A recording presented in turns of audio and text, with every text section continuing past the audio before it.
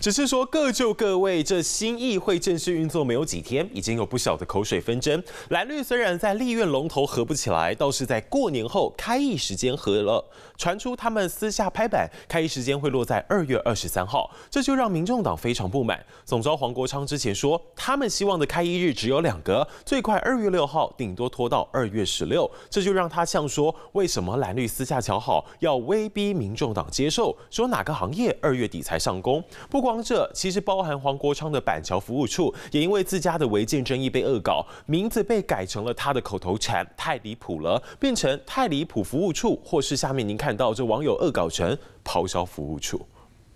年前发红包支持者大排长龙，民众党立委黄国昌板桥服务处开张被点名剑指二零二六新北市长，但这回这个服务处遭报跟家人大有关系。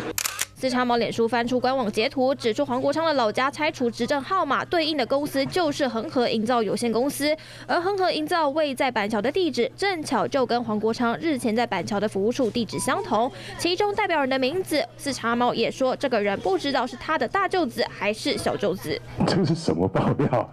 这不就老早就是公开资讯吗？我板桥服务处的房子是我老婆的，那我老婆的房子。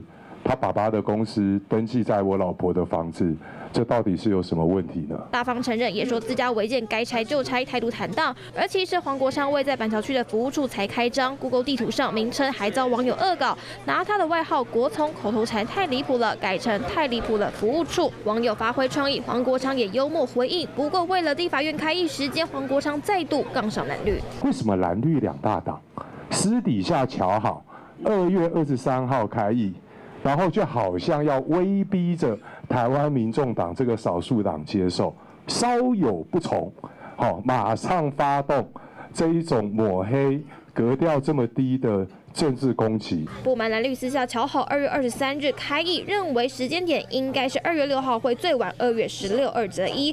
对此，民进党总干事吴思瑶则大酸黄国昌不做选民服务，不要把个人英雄主义无限上纲。而另一头国民党，好，先拿出来，不管是二月十六号或者是三月份，我想我们要开议，我想我们都是全力的配合。认为时间点还有协商空间，国会新会期各阵营为了开议时间点吵成一团。华视新闻林文宇、洪熙玉台报道。